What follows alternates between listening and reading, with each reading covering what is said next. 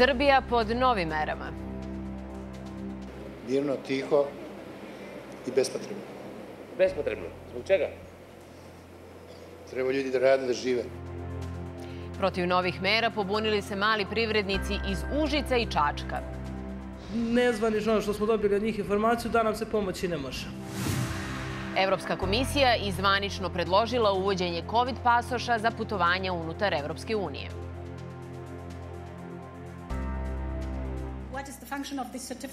Funkcija ovog sertifikata je da pokaže da li je osoba vakcinisana, ima negativni test ili se oporavila od COVID-19 i ima antitela.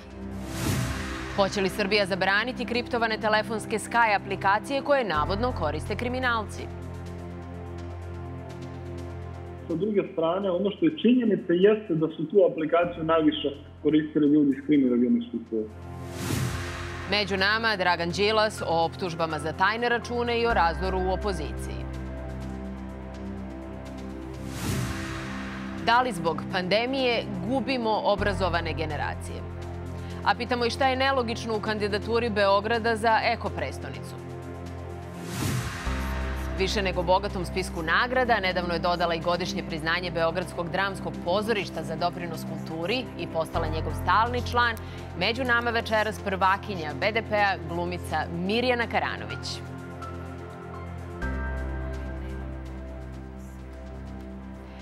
Kao što ste čuli, mnogo tema, mnogo sjajnih gostiju. Dobar vam dan i dobro nam došli u Među nama. Naš prvi gost i bit će predsjednik stranke Slobode i pravde, Dragan Đilas.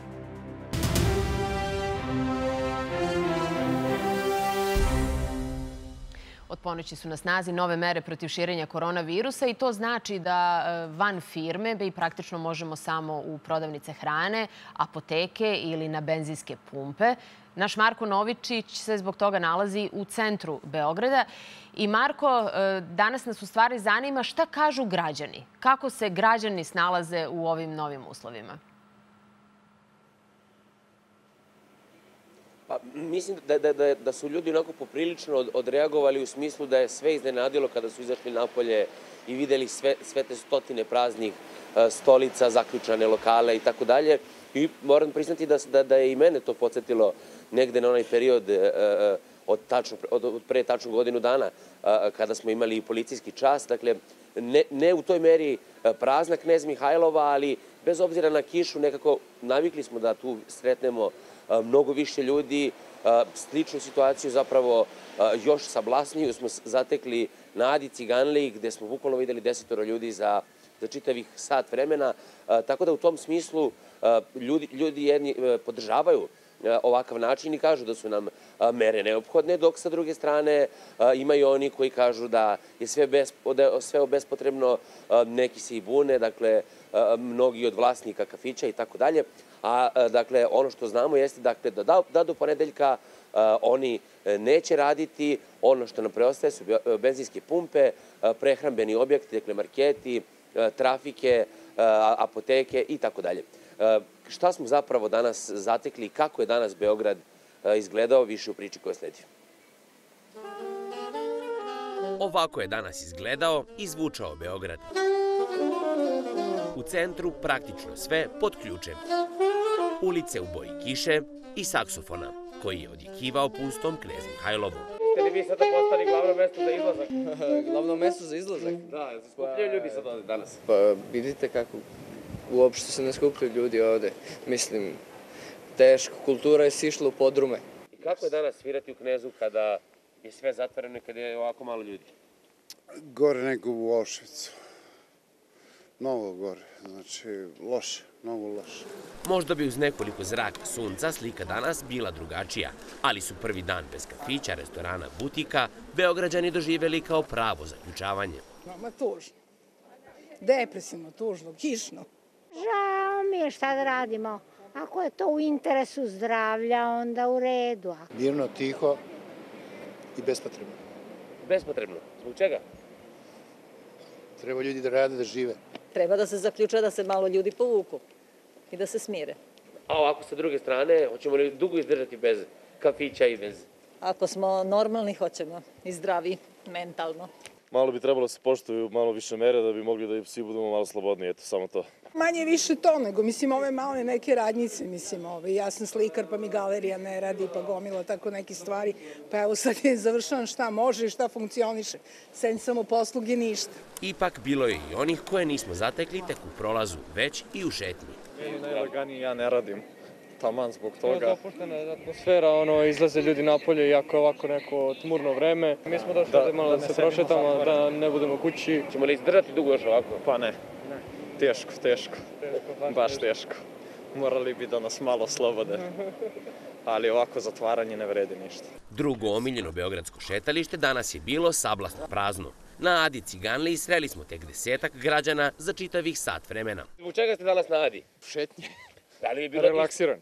Da, da li je razlog to što više nemamo, da ne rade kafići? Ne, ne, mi stalno šetamo po Adi. I kakav je osjećaj danas s obzirom da je nekako prilično pusto? Odličan, super, najbolji. da prošetamo. Je li razlog to što su kafići zatvoreni ili... Jeste, jeste. A od danas, ako želite da se ošišate, pa ko vas šiša? To nećete biti u prilici da uradite, budući da su i frizerski saloni takođe zatvoreni. Ko će da nas šiša? Pa mi za sad ne. Nećemo raditi sigurno sedam dana, ako ne i duže. Mislim da nema razloga za to. Berberi se pridržavaju mera. Godina je bila više nego teška. Mislim, ne radimo skoro uopšte. Pomoć nam daju, ali malu. Do duše, odluka o zatvaranju frizerskih i kozmetičkih salona, kao i sličnih uslužnih delatnosti, mogla bi da bude preispitana, najavljuje epidemiolog Predrag Kon. Marko Novičić, Televizija Nova. Hvala mnogo, Marko, na ovom izveštaju. A čačanski ugostitelji, mali preduzetnici, njih oko 200 su održali danas protest ispred gradske uprave u Čačku jer su nezadovoljni novim ograničenjima koje je usvojio krizni štab. Oni su blokirali ulicu koja prolazi pored opštinske zgrade, ogorčeni što svi privatnici nemaju isti tretman od nadležnih. I čelnici grada kažu da će tražiti od vlade Srbije da lokalne samouprave same organizuju život i rad službi u skladu sa epidemiološkom situacijom situacijom. Otvorene velike radnje, a mini 23 kvadrata, dva čoveka uđe, čoveče, pa ne može da. Pa valjda imamo pravo imi da se borimo za nešto. Pa kad nas razumete, pa ubijte nas, ubijte nas. Čekamo da izađu nadležni. se oslobodite da funkcioniše redno saobraćaj. Nova ograničenja i zabrana rada razljutilo je čačanske ugostitelje i preduzetnike, pa su se preko društvenih mreža samo organizovali i izašli na ulice. Kažu da su ogorčeni zbog novih mera vlade Srbije, navodeći da su za proteklih 12 meseci već pretrpeli velike gubitke u poslovanju i da neće moći financijski da podnesu novo zatvaranje njihovih objekata. 30 zaposlenih, 28 koji izdržavaju svoje porodice, znači ovo je veliki udarac na nas, ovo je, ovo je skup nadam se za slobodu, za rad, za, za život, nadam se da će ovo sutra nas bude jedno 200, preko sutra 300 i da se na ovome neće završiti. Koliko ne možemo da radimo, očekujemo države jednostavno da nam se otpišu ti porezi, doprinosi ta dugovanja koje imamo. Jednostavno, hoćemo da dobijemo zvaničan neki dokument po kome nam je zabranjeno da radimo i onda da znamo o čemu se radi. Pomoć nismo dobili nikakvu, inače sa vlasnik igraonici Salona Venčanica, nikakav vid pomoći nismo dobili, a dobili smo samo tu zabranu da rada. U našem salonu znači ne prođe više od 20 ljudi dnevno, što je recimo ovaj, udešava se u minutu bukvalno da toliko ljudi ima u Lidlu, Maxiju i drugim radnjama, objektima. Policija kaže da razume nezadovoljstvo sugrađana, ali nije dozvolila blokiranje ulice, pa će po svemu sudeći preduzetnici dobiti i prekršajne prijave. Da bi se koliko toliko smirile strasti, četvoročlanu delegaciju preduzetnika primio je gradonačelnik Čačka Milun Todorović. On im je obećao da će od vlade Srbije zatražiti dobijanje saglasnosti da se odluka o radnom vremenu ugostiteljskih i zanatskih objekata u buduće donosi na lokalnom nivou, kao što je to u drugim državama. Što znači u prevodu? Da grad Čačak svojim kriznim štabom vodi računa samo sebi. Znači, odredit će pravila ponašanja, vodit će računa o merama, kažnjavat će ko ne poštoje te mere. To je to u principu. Tako da mi u jednom momentu možemo da dobijemo normalu koliko toliko u radu, u svoj ovoj situaciji koja jeste, da naši zaposleni smanje svoje nezadovoljstvo, Ugostitelji su dali rok nadležnjima do ponedeljka, nakon čega će doneti odluku o daljim potezima. Prema podacima lokalne samouprave u ugostiteljstvu i delatnostima kojima je od danas zabranjen rad, živi i radi oko 18.000 čačana. Oko 20 ugostitelja do sada je privremeno ili trajno zatvorilo svoje objekte, najviše u centralnim gradskim zonama gdje su kirije i najveće. Idemo sada u Užice. Užički mali privrednici, zlatari, frizeri, vlasnici turističkih agencija su protestovali ispred gradske kuće, zahtevajući da ih primi gradonačelnica i da vide da li mogu da računaju na neku pomoć grada kako bi opstali u doba novih mera koje nam stalno nameće korona.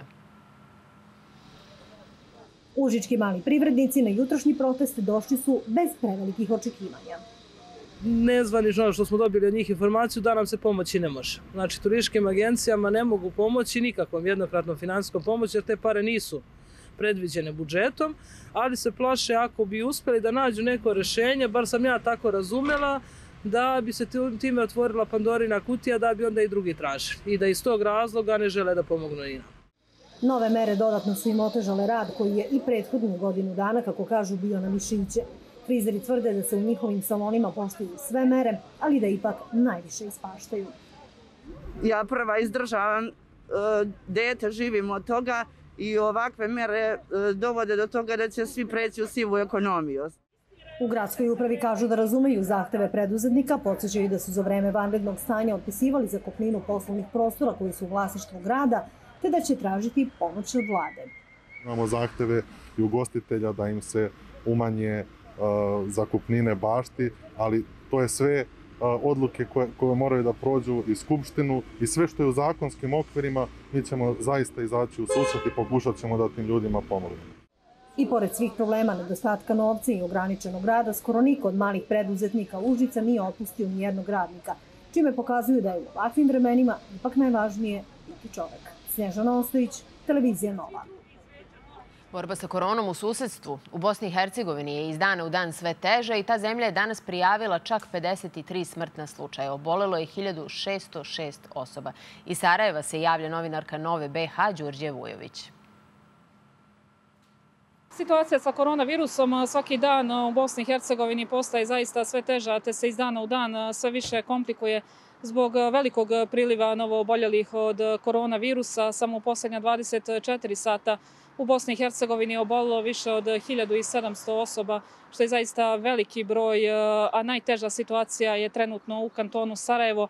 Na stotine je novo oboljelih e, u jednom danu, te se izrastveni sektor sada ovim eh, trenucima suočava sa velikim eh, pritiskom. Iz Kliničkog centra Univerziteta u Sarajevu eh, kažu da se sve teže nose sa novonastalom situacijom, te su prije nekoliko dana unutar te ustanove proglasili vanredno stanje, što dovoljno govori kakva je trenutno situacija u ovom kantonu. No, u Kliničkom centru Univerziteta u Sarajevu kažu da sada trenutno pokušavaju prerasporediti svu svoju raspoloživu snagu kako bi odgovorili svim zadacima u ovom trenutku iz eh, vlade kantona Sarajevo kažu da je najbitnije da se ovim trenucima ne diže panika te da građani poštuju sve propisane epidemiološke mjere. E, povećavamo broj testiranja. E, ja danas upravo ćemo, ću izdati naredbu o mobilizaciji svog zdravstvenog kadra unutar kantona Sarajevo, uključujući privatni sektor. Dakle, ovaj, svi će se morati mobilizirati podjednako i preuzeti teret ove borbe sa COVID pandemijom, a da ne spadne to samo na ove tri najvažnije ustanove, dom zdravlja, klinički centar i opća bolnica. Zbog velikog broja zaraženih u većini dijelova zemlje se razmišlja o uvođenju restriktivnih mjera. Sarajevo je ranije prvo posegnuo za tim mjerama, te u toku prethodnog vikenda važio djelimični lockdown. Sada se čeka odluka da li će iste mjere važiti tokom narednog vikenda. I u Republici Srpskoj također Zavod za javno zdravstvo trenutno treba da se obrati Republičkom štabu za vanredne situacije sa nekim restriktivnim mjerama, no još uvijek nije poznato o čemu se radi i o kakvim mjerama nadležni trenutno razmišljaju.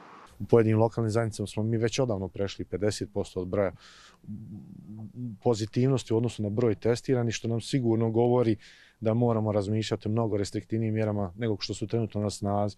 Ali ne smijemo zaboraviti također da za sanaciju ovakve epidemiološke situacije nama treba minimalno između 4 i 5 nedjelja da bi mogli se vratiti u one brojeve koje smo imali u januaru, odnosno u februaru mjesecu. Veliki problem u Bosni i Hercegovini je što još uvijek nije počela masovnija vakcinacija. Direktne nabavke također kasne, tako da u ovom trenutku građanima jedino ostaje da se pridržavaju epidemioloških mjera te da se na taj način bore sa pogoršanom epidemiološkom situacijom.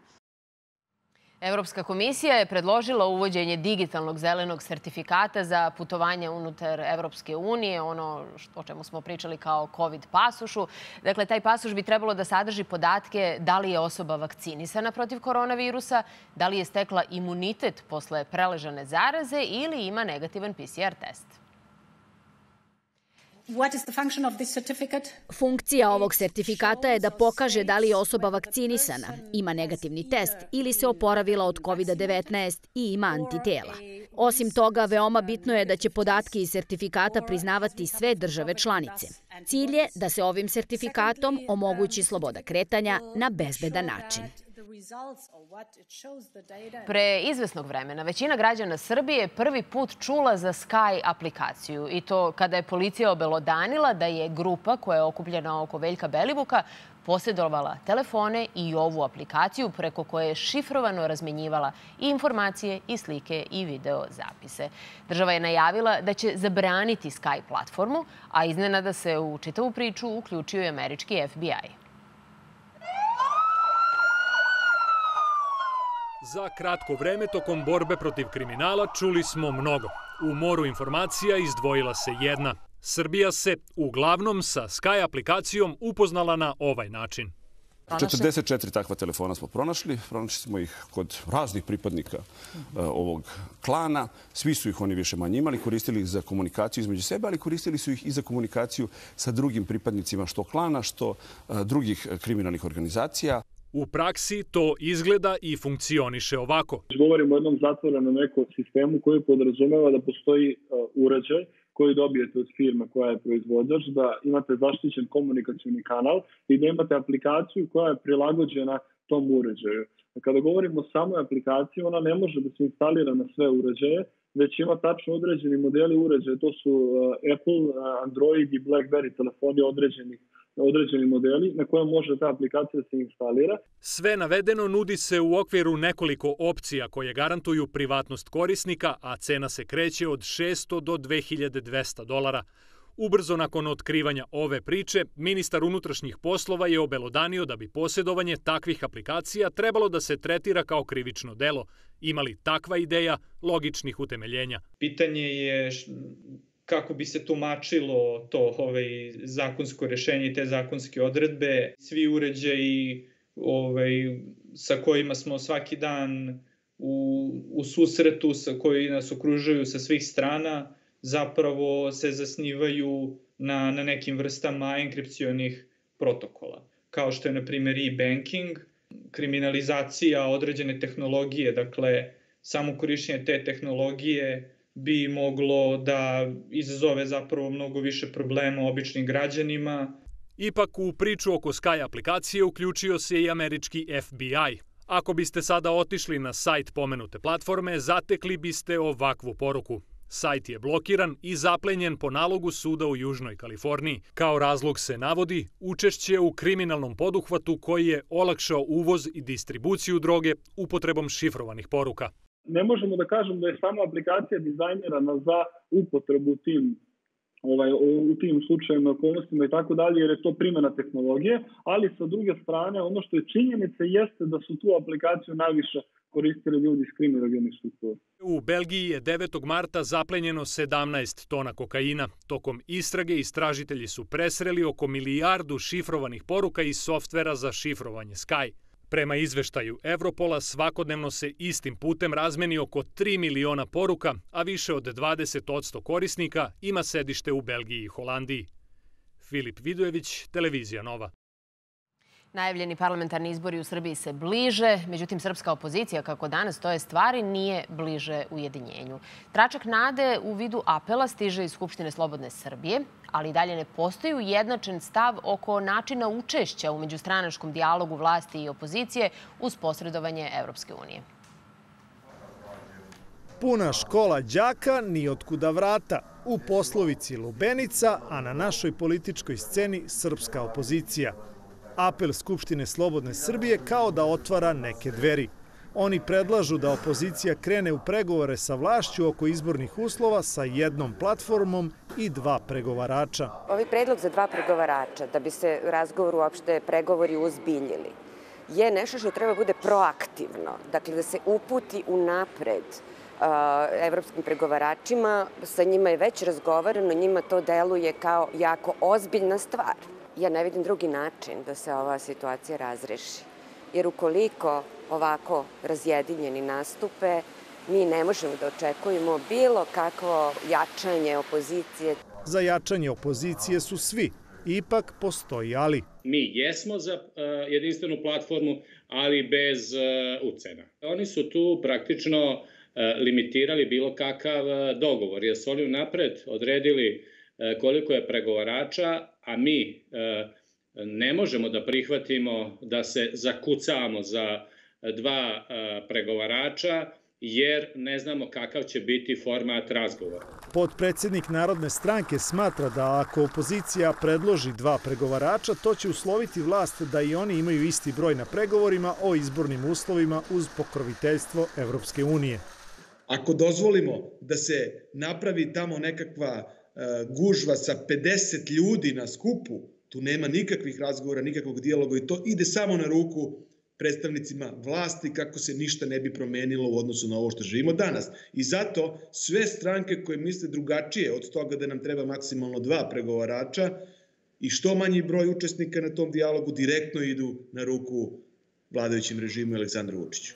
Upravo zbog ovakvih dešavanja pokret dveri prema rečima njegovog lidera nije želeo pre šest meseci da uđe u udruženu opoziciju Srbije, zbog čega su, kako kaže, svoj politički put nastavili samostalno. Mi apsolutno podržavamo e, predlog Skupštine Slobodne Srbije o zajedničkoj platformi i zajedničkoj delegaciji kompletne opozicije na čelu sa bojkot opozicijom. Ako ovoga puta ne dođe do e, jedinstva opozicije po ovom pitanju, ja zaista onda smatram da mi nismo zreli za situaciju u koja se danas nalazi u Srbiji i morat ću da se ispišem iz takve opozicije i da pozovem predsedništvo Srpskog pokreta dveri da revidiramo svoju saradnju sa kolegama iz opozicije i da se zaista postavi pitanje stvaranja jedne nove opozicije u Srbiji. A hoće li sazreti Lubenica ili pući tikva jedinstvene opozicije, prema rečima profesorke Stojković, Problem je unutar opozicionih borbi ko je među liderima glavniji. Đuro Svilar, Televizija Nova. Naš gost u prvom delu emisije, predsjednik stranke Slobode i pravde, Dragan Đilas. Dobar vam dan i hvala vam što, što ste nam došli među nama. I sad, e, ja bih da ostavimo ovu opozicijonu priču za, za našu drugu temu i da e, krenemo najpre sa, sa famoznim Mauriciusom. Zato što e, ovoga jutra su novosti u svom štampanom izdanju objavile ono što se najavljuje već nekih, pa mislim, nekih sedam dana. Evo sad ću ja pročitati da, bismo, da bih bila potpuno precizna.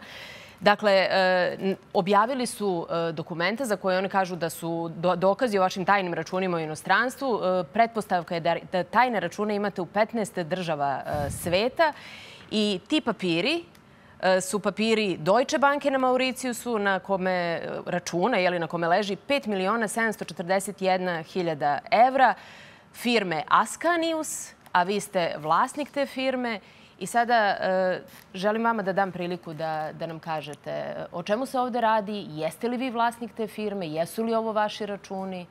Ništa od toga nije tačno. Ja sam to već rekao i pre tri dana kada sam držao konferenciju za štampu. U pitanju je dokument koji je falsifikat i koji su već juče pola sata posle te jedno od mnogih specijalnih emisija o meni na Pinku su ljudi na Twitteru već našli da ta banka koja je navodno dala papir da ja u decembru prošle godine imam 5 miliona i 700 hiljada na računu moje firme, ne postoji još od jula 2018. godine. Znači, Sam, vi, vi nam tvrdite da su ti papiri, uh, odgovorno nam tvrdite potpuni falsifikat. Samim tim je svima jasno da ne možete imati račun u banci koji ne postoji dve i po godine. Kad se ta informacija pojavila, onda je počela panika u njihovim redovima, onda su izmislili neku drugu firmu, navodnu banku, nastavili su dalje da se u sve to upetljavaju. Dobro, ovo je, ovo je prvo nema... bila Deutsche Banka. Sada uh, su rekli, toga, sada su rekli da postoji... Ja da, ako mogu da, da, ja da, samo da nam objasnite za ovaj Deutsche Securities Mauritius Limited. Kažu da je ugašen samo retail deo 2018. Uh, ove prve banke, rekao, a ova druga da je i dalje kao aktivna. Kao što sam rekao vrlo precizno, ne postoji druga banka, ne postoji drugi deo, ne postoji ništa od svega toga. Ja ću sutra da se obratiti građanima Srbije na jedan specifičan i poseban način izneti još mnogo dokaza. Ljudi koji su falsifikovali ovaj dokument, protiv njih će biti podnete krivične prijave, zaprećena je kazna od pet godina. Jer znate, jedna je stvar kada vi lažete da imam 619 miliona evra koje sam opljačkao od naroda, jedna je stvar kad lažete da Marinika Tepić dobija 200.000 evra od Belivuka. To su laži. Neke su i smešne, poput jednog hektara stana i tako dalje ali ovde je napravljeno krivično delo. Ovde je neko uzao neki papir, preradio ga, da bi ga koristio u kampanji protiv mene na jedan način koji je zaista, već mi smo na to navikli, inače nije normalno. Znači, ponovit ću još jednom. Nemam nikakvu firmu na Mauricijusu, nemam nikakav račun na Mauricijusu, nema te banke koji su objavili i do 10 sati vikali Deutsche Banka, Deutsche Banka, pa od 10 promenili u nešto drugo, ni tog drugog nema sve će to biti jasno i zbog toga će neko zaista jednog dana ići u zatvor. A vi ste videli da su se te tvrdnje nastavile i ovoga jutra? Pa znate, ja slušam tvrdnje već 9 godina da sam ukrao 619 miliona evra, da sam opljačkao grad Beograd, pa 9 godina protiv mene ne da nema sudskog procesa, nego nema ni tužbe, ni istrage. Znači, slušat ćemo još, po mojoj proceni, 9 meseci do godinu dana ovakve stvari, a onda će se u ovoj zemlji slušati jedna druga pesma u kojoj će nezavisne institucije, i ljudi koji će raditi svoj posao se obračunati sa onima koji su kriminal u Srbiji stvorili.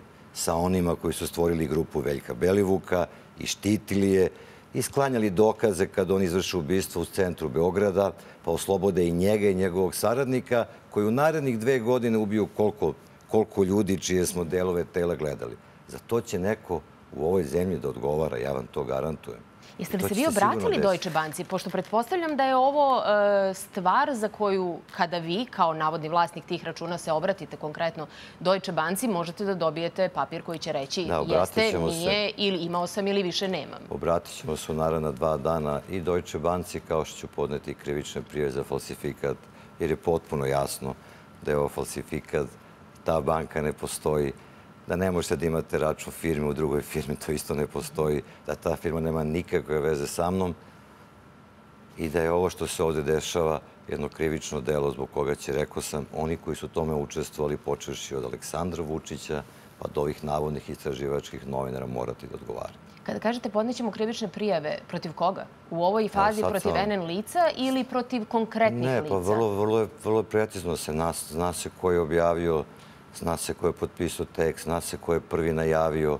tu priču, zna se ko je najavio pre dva dana tekst u novostima napred. Sve se to zna. Svi ti ljudi koji su to radili su bili ovo umešani i svi ti ljudi će morati odgovarati. Biće, verujte mi, vrlo zanimljivo sutra. Ovde sad nemam ni te papire i sve to. Kada na tom svom obraćanju dokažem koliko ima laži na tom papiru i koliko su stvari, kako oni kažu, kompletni idioti oni koji su falsifikovali ovo na način koji je stvarno, ja ne znam šta se dešava u njihovim redovima. Da li su svi ovi koji su do juče pakovali te afere da nešto liče otišli? Čuo sam recimo da je gospodin Beja Popović napustio gospodina Vučića, ne radi više s njim. Možda bi to moglo da bude obrazloženje za ovako jednu smejuriju amaterizam koji su oni u ovom slučaju pokazali. Šta hoćete da kažete? Pa hoću da kažem da se oko Vučića skuplja neki čudan svet. Ali je bilo nekih ljudi koji su po meni loši ljudi, zli, rade loše stvari, ali koji su znali to da rade i da vam prave pakao od života. Izgleda su se i oni odvojili od njega, da su tamo ostali samo oni koji čak kada falsifikuju ovakav jedan papir naprave toliko grešaka da će se Srbija jednog dana prvo malo nasmejati, a onda će se mnogi zapitati kad su ovo ovako slagali, šta li su još sve slagali ovaj jadan narod u prethodnih 8-9 godina. Vi ste, videla sam sigurno i ovaj, e, taj, taj tekst u novostima i sada ne tvrdi se tu samo e, o ovom računu, tu su i računi u Švajcarskoj, tu je priča o tome kako je vaša firma Direct Media u stvari fiktivno prodata bugarskom partneru Krasimiru Gergovu. Da, to sam već govorio u ponedeljak. Kako se ne ljutite, ne bi mnogo trošio vreme na to. Ja sam svoju kompaniju prodao 2. aprila 2014. zajedno sa svojim partnerima.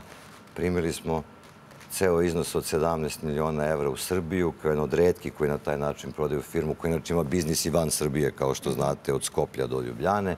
Platili 2 miliona i 200 hiljada porez ovoj državi i onda s tim novcem otvorili kompaniju u Švajcarskoj koja se bavi ulaganjem u akcije i slične aktivnosti. Ono moram da vam kažem da samo od 2007. do 2013. ta Direct Media državi Srbiji platila 20 miliona evra poreza. Ja sam svoj porez platio ovde, na svaki dinar koji sam zaradio dao sam državi ono što je pripada i ja jako mirno spavam. A da li neko drugi mirno spava, to ćemo vidjeti. I sada vi nam kažete sutra ću podneti e, naciji konkretne dokaze da su, da su ovo falsifikati. A kako, pod uslovom da je tako, objašnjavate e, ovoliku medijsku pompu? Notifikacije e, novosti sa aplikacije stižu na, na nekoliko sati i sve su povezane na, na taj e, isti tekst. Ovo je najavljivano sa, sa najviših instanci. Sinoć je tome bila posvećena emisija na televiziji Pink u udarnom terminu. Dakle, e, čemu služi e, takva priča ako se sutra pokaže da je, da je sve laž? Zato što opet jedan veliki deo Srbije neće moći da čuje da ta priča nije tačna. Pa ja znam, ja kad se obratim zahvaljujući vašoj televiziji N1, nekoliko portala i novina koji će to preneti, da to dođe do nekoliko stotina hiljada preko Facebooka, milioni nešto ljudi, a kada oni to urade preko bastiona njihovog televizije Pink i prenesu svi ovi koji su deo te jedne ozbiljne kriminalne organizacije i mreže, da to počita mnogo veći broj ljudi. A moram nešto da vam kažem, gospođo Nikolić, to je sve nebitno. Ovaj narod, kad odete po Srbiji, on vam kaže ovo je više neizdrživo. Oni vide šta se deša, oni shvataju, oni vide kako opet ulazimo u jedno ludilo sa koronom, gde ljudi, ja mislim da ovi ljudi u ponedeljak apsolutno ne znaju šta će utorak donesu kao odluku. Pa onda zabrane u gostovima rade od srede, oni ljudi imaju nešto su kupili. Znači, oni puste 10 hotela na Koponiku i Zlatiboru da rade 50 kafića i sad ugase 18.000 ugostiteljskih objekata. Zemlja se zadužila tolike pare. Sve će biti teže i gore vide korupciju na svakom koraku, vide sve te stvari. Pa nije ovaj narod da ne vidi, iako ga medijima bombuju na drugi način. I Aleksandar Vučić to vidi. On zna da ne može da pobedi više na predsjedničkim izborima. Imam još jedno pitanje za vas, pa da završimo sa, sa Mauricijusom. Kada e, savjetnica predsjednika Srbije Suzana Vasiljević kaže jutros na, na televiziji Prva e, ili uzmite pare i idite tamo gde ih imate ili nemojte držati predavanja građanima Srbije o tome kako bi neko trebalo da se ponaša. Šta to znači? Jel to znači da, da je ovo problem samo kada se ne ponašate kako treba? Ja iskreno ne znam. Ja ne slušam ni Vučić ta priča, verujte mi, a tek da slušam Suzanu Vasiljević, Dragana Vučićevića, te Lađevića, Milovanovića, da čitam te, no, to mi ne pada na pamet. To ni do sad nisam radio, u buduće ću, verujte mi, ono malo što sam gledao i to ću da isključim. Koga interesuje u ovoj zemlji šta ima da kaže Suzana Vasiljević, osim možda da objasni svoj život i odakle novac za sve ono od garderobe do putovanja što vidimo po ovim mrežama, Instagramima, Facebookima. Ali to nije moj posao o tome da pričam. Time će sutra baviti ljudi na osnovu zakona o poreklu imovine. I svako će morati da dokaže i da pokaže. Biće i zakon o borbi protiv korupcije janih funkcionera, pa će svi oni, ne samo ovi sad koji su deset godina na vlast, nego i prethodnih deset, da vidimo ko danas šta ima, sa čim je ušao u politiku i sa čim je izašao iz politike. Ja znam sa čim sam ušao u politiku. Ja sam u politiku ušao sa kompanijom u 10 zemalja koja imala godišnji prihod preko 35 miliona evra. I sa kućom na Senjaku i sa svim tim što sam javno pokazao. I znam sa čim sam izašao. I ja se toga ne stidim, ja se time ponosim. Kao što se ponosim i stvarima koje sam radio u Košakaškom savezu Srbije i uglavnom skoro svim stvarima koje sam radio u gradu u Beogradu i da završim što su i građani 2012. na izborima nagradili sa 36% glasa. Šta se dešava sa, sa uh, srpskom opozicijom? Pošto pomenuli ste malo pre da, da idete po zemlji, ali ja moram da se vratim na, na ovaj dijalog za koji verujem da građanima apsolutno nije jasno ni kako će izgledati. E, I, I da vas pitam krajnje konkretno, kada Vuk Jeremić, lider Narodne stranke, juče kaže da se ne igramo mačke i miša, na potezu je sada stranka Slobode i Pravde, oko platforme smo se dogovorili, nema dileme šta to treba zastupati, samo je problem ko će da zastupa i kaže na Draganu Đilasu je na tome da se konačno izjasni bez uvijanja. E, šta vama poručuje gospodin Jeremić i u čemu je u stvari nastao problem? Ja sam pogrešan go za ta pitanja. Me pitate šta je neko rekao, šta neko nekom poručuje, šta misli. To treba pitate njih koji su to izgovorili. Ja mogu da vam kažem šta se dešava, šta će se dešavati i kako ćemo doći do toga da ovaj režim završimo zauvek sa njim i da pravimo normalnu, bogatu i dobru zemlju. Kao što rekao, šta je sporno? A, ja sam čovjek koji se zalaže za jedinstvo opozicije od dana kad sam se vratio u politiku. A inače sam, kad sam vodio grad Beograd, vodio ga sa koalicijom koja imala 12 ili 13 stranaka, bez ikakvih problema. Svi sa mnom mogu da sarađuju. Kad sam se vratio u politiku 2018. predložio sam jednu listu za Beogradski izbor.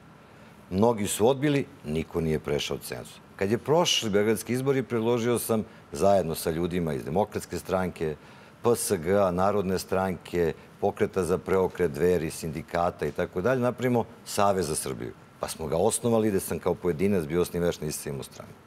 I za sporazum s narodom sam bio za jedinstvo opozicije i za bojkot sam bio za jedinstvo opozicije.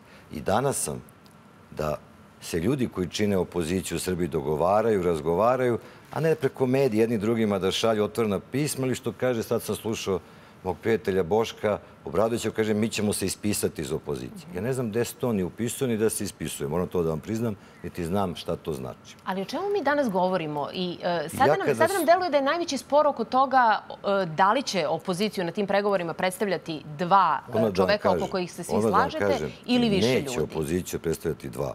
Jer nisu opozicija samo SSP, Narodna stranka, Dveri, ovih pet organizacija koje je potpisao našu platformu. Danas i opoziciji imate još puno stranaka koji su van ovog bloka. I niko od nas ne može da ograničava njima ko će, da li će učestvovati i kako će učestvovati. Znači, slušao sam pažljivo gospođu Stojković. U svo poštovanje koje imam prema njoj. To da je u pitanju sueta lidera koji ne mogu se dogovore ko je veći, to je gospođo Stojković vrlo neprimerano kao što je izjava gospodina Prelevića pre neki dan, da onaj ko ne prihvati njihov predlog radi za Vučića. Ko radi za Vučića? Marinika Tepić, koje crtaju metu što kao uzima 200.000 evra od Belivuka i koje pretili smrću pa taj sad se doselio pored nje. Ko? Dejan Bulatović, kome su na kući napisali da treba ga ubiti što mu dete čitao. Ko? Borko Stefanović, kome su glavu razbili, mogli što ga ubiju pre, pre dve i po godine ko Znači, te Spirićka. optužbe odbacujete? Znači, te optužbe ima neću da pričam, ne da odbacujem. Oni koji su izgovorili, neka se ponose tim. Ali koji je vaš nema ovde priče, kako, kako ići na te nema pregovore? ovde priče o liderima, o liderima i suetama. I molim vas, evo vas preklinjem, nemojte to više nazivati pregovori. Ljudi, nema pregovora. Pa nego čega ima? Ovo je dijalog međustranački. Znači da ja preformulišem Inter, pitanje kako ćete ići na dijalog, ali priznaćete nije suština u, u Vrlo je velika reči. suština, verujte mi. Inter-party dialog. Prvo je bio parlamentari, pošto nismo svi sad u parlamentu, onda je stranački. To je međustranački dijalog. Ajmo sada na, na odgovor SSP-a. Evropskog parlamenta. Odgovor sam već dao. Pod ne, pokroviteljstvom, Ka, morate me pustiti da završim pa, neku rečenicu. Razumela sam vas, nije, nije u re, nisu u pitanju pregovori, u pitanju je dijalog, ali ja vas molim, pošto vas ne razumem, znači kakav je vaš plan, sa kim ćete vi ići u taj dijalog? Ko će biti pregovarači vaše, vaše stranke, koalicije koju ste vi napravili? Vi znate da je šest organizacija napravilo platformu. Dobro. Znate koje su to organizacije? Da vam sad ja nabrojim. Pa, recimo, pa pitajte pošto, po Srbiji ko pa zna ko su te organizacije. Pa vi mene pitate, ja vam odgovaram. Pa vi znači, odlučujete, znači, jedan ste od tih koji odlučuje šest, ko će učestvovati u tom dijalogu, a ne ja svakako. Šest organizacija koje su se udružile da naprave zajedničku platformu su je napravili. Sa jednim jedinim ograničenjem da pod opozicijom podrazumevaju sve one koji neće nikada u nijednoj varijanti biti zajedno sa SNS-om u vlasti. I to je za mene jedini kriterijum ja te podele, da neko nekoga procenjuje, zato što je eventualno napravio grešku, pa izašao na izbora, nije trebalo. I sad ću ja njima da kažem, ili SSP, ili bilo ko drugi, E, vi više niste opozicija zbog toga. Pošto niko od nas nikad u svom političkom životu ništa nije pogrešio i svi smo bezgrešni. Znači, tih šest organizacija ima platformu. Poslali smo je svima, uključujući Skupštini Slobodne Srbije, koja jeste grupa intelektualaca koja se okupila, vrlo korisno, vrlo potrebno, jer mi ovde nemamo ozbiljnu, običnu političku borbu, pa ja da kažem, politikom se isključio bave političari, kao što vas leče hiruzi, kao što auto popravljaju automehaničari, e tako se politikom bave političari koji snose odgovornost. Pošto se mi borimo za slobodu, a ne za političke programe, i više nego dobro da svaki čovek, posebno od nekog ugleda i poznatosti, se uključi u tu borbu i kaže svoj savet ili svoje mišljenje. Zato ja smatram da je Skupština Slobodne Srbije više nego dobrodošla u ovoj borbi. Ali, ne možete očekivati da dođete i kažete, e, mi ovo predlažemo, a ko to ne prihvata, taj radi za Vučića. Mi smo našu platformu napravili. Mi dve i po godine radimo sa ljudima iz Evropskog parlamenta. Posledice našeg rada i ogromnog rada civilnog sektora, ogromnog broja nevladnih organizacija, jeste izveštaj Evropske komisije o Srbiji, jeste ovaj sada report koji su u Evropskom parlamentu Vladimira Bilčika o Srbiji i jeste dijalog u Srbiji i mi sa tim ljudima razgovaramo. Ja ne znam, moram to da završim, pošto sam čuo od gospođe Stojković da su oni pričali sa Ljudinskog parlamenta koji su im rekli za dva parlamentarca. Ja Vama sam, to nisu rekli? Ja sam to isto pričao. A moram da kažem nešto. Ja malo više pričam sa tim ljudima i od gospođe Stojković, ali i od ovih ljudi iz ove dve stranke koji nisu sa nama. Jer te dve stranke nemaju svoje partnere u Evropskom parlamentu imate grupu socijaldemokrata, sa njima smo partneri demokrat, demokratska stranka i mi iz SSP-a, imate liberale, sa njima su partneri ljudi iz pokreta Slobodnih građana, imate zelene, s njima najviše sarađene Dajmo Beograd. I mi sa njima pričamo. Pa su vama Meni niko nije rekao ne? nikad dva predstavnika i ja mislim da je to u ovom trenutku potpuna besmislena priča. Ukoliko svi ovi ljudi koje smo pomenjali žele, ja, mi smo spremni sutra da sedemo da pokušamo opet da našu platformu, njihova razmišljanja i predlog koji su dali spojimo jedan papir. E, Kako imamo... ćemo se za to boriti? Uh mhm. -huh. To ćemo videti kada budemo videli koji je format. Ali koji je format? To, to je pitanje sa kojim sam htela da zaključimo, Razgovor. zato što meni deluje da je u tome suština. Dakle, koliko su te platforme bliske? Koliko su uslovi za koje se svi zalažete bliski? Je li to moguće pomiriti? A, uslovi za koje se zalažemo su potpuno identični. S te strane mi nemamo razmimo ilaženje teme o kojima pričamo, sloboda medija, pre svega RTS i pritisak na birače i sam izborni proces, takođe o tome svi pričamo. Pa to znamo mi svi koji živimo u ovoj zemlji šta ovde ne valja kad su u pitanju izbori i sloboda govora informacija. Znači, to ništa nije sporno. Ali, jedna stvar da se zalaže da se menja kroz institucije. Sjajno da se zameni ceo REM. Sjajno da se zabere novi glavni urednik RTS. Ali verujete da je to moguće? Da će Vučić to da prihvati? A mi kažemo, dobro, pošto se pozivate na zakon da je tako to sve izabrano, umesto toga dajte duplo uredništvo, pa da čuju ljudi na RTS-u nekad i nekoga od nas, a ne samo ove ljude koji sada gostuju. I za pritisak na birače. Dajte u svakom preduzeću poverenika iz opozicije da spreči sakupljanje kapilarnih glasova, da sprečimo batinaše, kriminalce, celu ekipu poput Belijukove kojih ima po Srbiji koliko hoćete koji radi za stranku na vlasti, donosi im glasova. To je suština. To je suština za vas. Hvala vam mnogo što ste Hvala bili naš, naš gost. Dragan Đilas je bio među nama. A u Skupštini Srbije se nastavila serija napada poslanika na novinara istraživačkog portala KRIK, ali takođe i na nevladinu organizaciju CRTA koja prati i analizira rad Skupštine. Šef poslanika Srpske napredne stranke Aleksandar Martinović je za skupštinskom govornicom optužio KRIK da pere novac preko aplikacije, a zatim je iznosio podatke o imovini čelnika CRTE.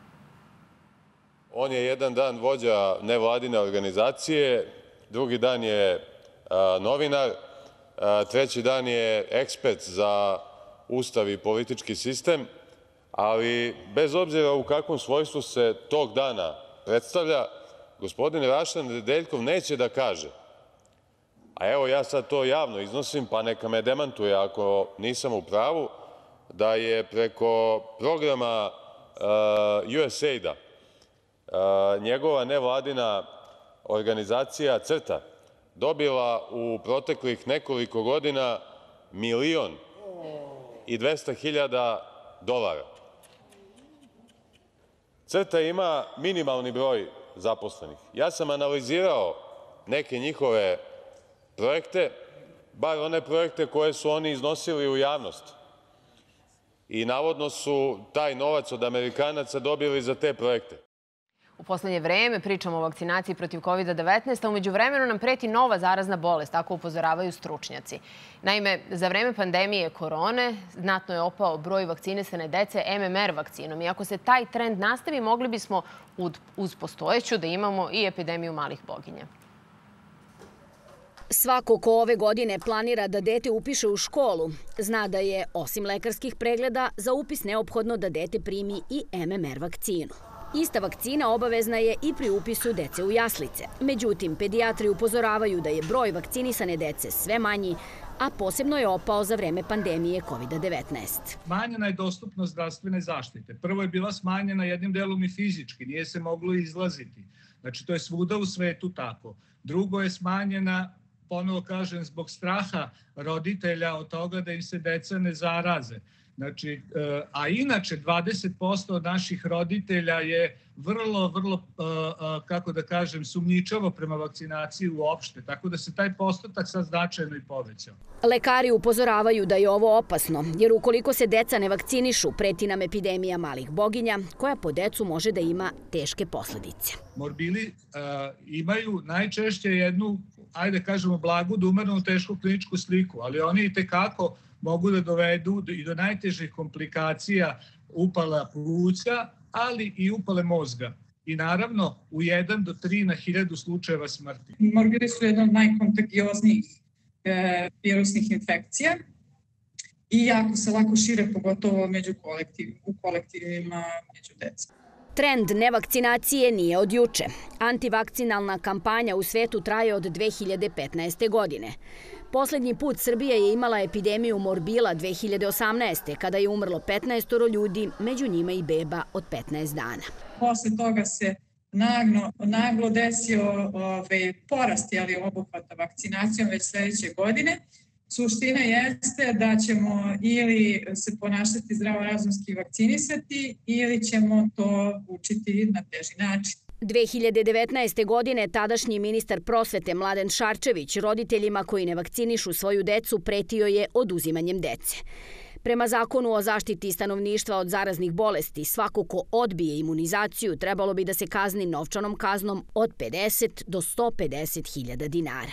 Međutim, praksa pokazuje da sudovi mogu da umanje te kazne na iznose od 1000 do 1000 i po dinara. Dakle, sud ima pravo, procjenjujući sve okolnosti, da izrekne kaznu od 1000 do 1000 i po dinara. Ono što moram još da istaknem jeste da se često dešava da ovi postupci zastare. Dakle, kada prođe dve godine, od, to, od tog odbijanja, dakle od momenta kad su roditelji odbili da vakcinišu svoje dete, kada prođe dve godine, ovaj postupak zastareva. I donosi se, sud donosi odluku da je došlo do zastarevanja i onda nema sankcije. Ako je roditelj platio kaznu, to ne znači da više nema obavezu da dete vakciniše. Praksa pokazuje da mnogi to na posledku i urade, ali nije jasno kako neko uspe da se upiše u školu, a da nije vakcinisan, a ima i takvih slučajeva.